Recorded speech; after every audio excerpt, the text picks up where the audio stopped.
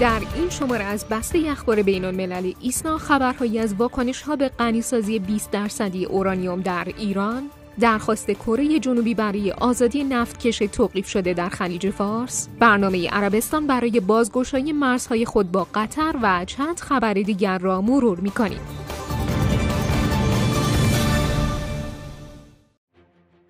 آخرین اخبار کووید 19 در جهان. تا بعد از ظهر سه شنبه 16 دی تعداد مبتلایان به کرونا در جهان از 86 میلیون و 200 هزار نفر فراتر رفت و تعداد بهبود یافتگان هم به حدود 61 میلیون و 200 هزار نفر رسید. تا امروز حدود 1 میلیون و 865 هزار نفر جان خود را بر اثر ابتلا به این بیماری از دست دادند. روسیه که برای مدتی طولانی با شیب صعودی مبتلایان روزانه روبرو بود، در حال حاضر شاهد کاهش نسبی آمار فوتیها و مبتلایان جدید است. در بریتانیا نیز تعداد مبتلایان روزانه بار دیگر رکورد شکنی کرد. بوریس جانسون نخست وزیر این کشور اعلام کرده است که برای جلوگیری از گسترش نوع جدید ویروس کرونا، انگلیس وارد یک قرنطینه سراسری جدید خواهد شد. بریتانیا اولین کشوری است که استفاده از واکسن کرونا آسترازنکا آکسفورد را آغاز کرده است. فرانسه نیز با کمی تأخیر نسبت به دیگر کشورهای اروپایی واکسیناسیون کووید 19 را آغاز کرده است. از سوی دیگر افزایش مبتلایان جدید در لبنان باعث شده مقامات این کشور دستور آغاز قرنطینه کامل به مدت سه هفته را صادر کنند. واکنش ها به غنیسازی 20 درصدی اورانیوم در ایران آژانس بین‌المللی انرژی اتمی روز دوشنبه تایید کرد که ایران غنیسازی 20 درصدی اورانیوم در سایت فوردو را آغاز کرده است.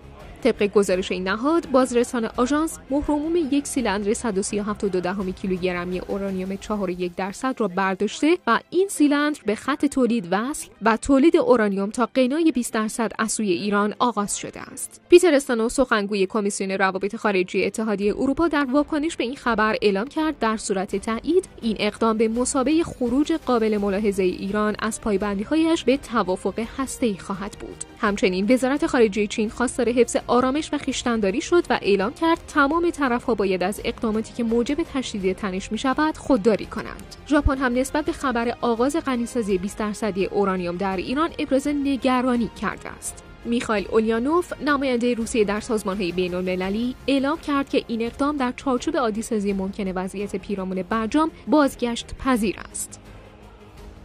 درخواست کره جنوبی برای آزادی نفتکش توقیف شده در خلیج فارس. پس از توقیف نفتکش کره جنوبی توسط ایران در آبهای خلیج فارس وزارت امور خارجه کره جنوبی از ایران خواست این نفتکش را فورا آزاد کند. نیروی دریایی سپاه روز دوشنبه در بیانیه ای اعلام کرد یک نفتکش کره جنوبی به دلیل نقض مکرر های زیست محیطی در خلیج فارس توقیف شده است. طبق اعلام وزارت امور خارجه کره یک هیئت دیپلماتیک از این کشور برای رایزنی درباره این شناور توقیف شده به تهران سفر خواهد کرد.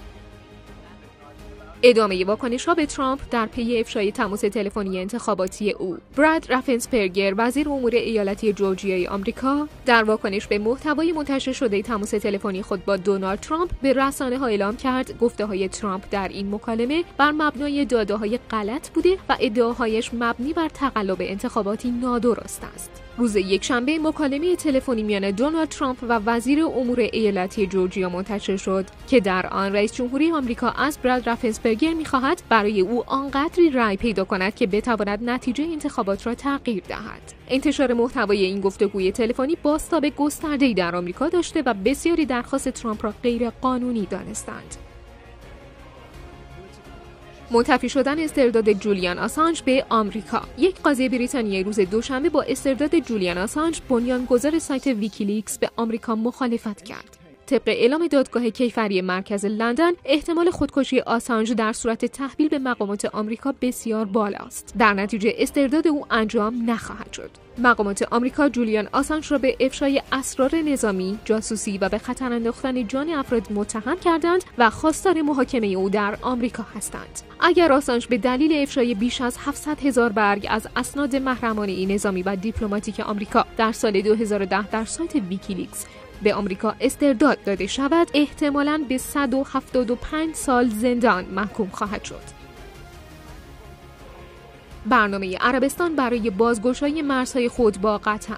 طبق اعلام وزارت خارجه کویت عربستان پس از سه سال و نیم قطع روابط دیپلماتیک با قطر مرزهای زمینی دریایی و هوایی خود را با این کشور باز می کند عربستان امارات بحرین و مصر از سال 2017 با ادعای حمایت قطر از تروریسم مرزهای زمینی هوایی و دریایی خود با این کشور را مسدود کردند.